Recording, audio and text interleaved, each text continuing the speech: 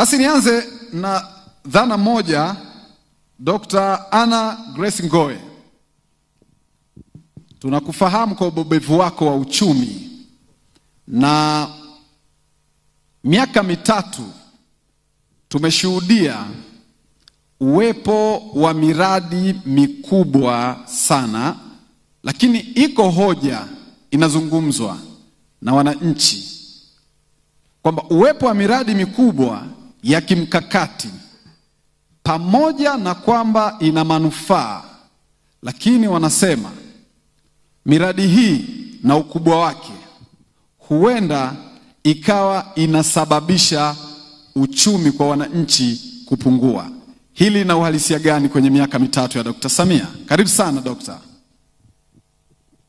Asante sana uh, Nyanda. Jina langu ni Ana Gongwe. Ana Gongwe. Yes. Mimi ni mwaziri mwandamizi wa uchumi kutoka katika Chuo Kikuu cha Mtakatifu Agostino na vile vile ni director wa quality assurance wa chuo hicho.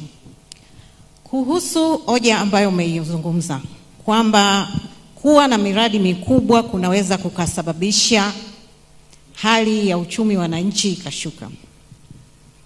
Uh, sikubaliani na hilo kwa sababu katika ile miradi siku yote, wakati wote ambapo serikali inaanzisha miradi mikubwa, wakati wa kujenga, na wananchi wengi sana ambao huwa wanaajiriwa.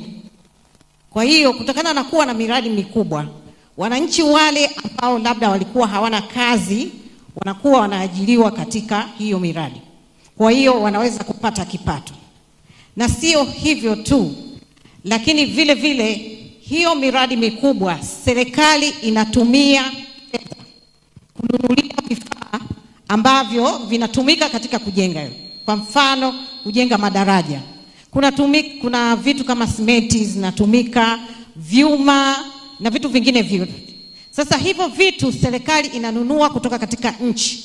Kwa hiyo serikali inapofanya matumizi ya kununua vifaa, ya kununua huduma inaongeza pato la taifa, kwa sababu katika pato la taifa vitu ambavyo vinapelekea pato la taifa kuendelea au kuongezeka ni pamoja na uwekezaji, pamoja na uh, wananchi kununua vitu, kwa hiyo tunaita consumption, ukulaji, pamoja na biashara, pamoja na serikali.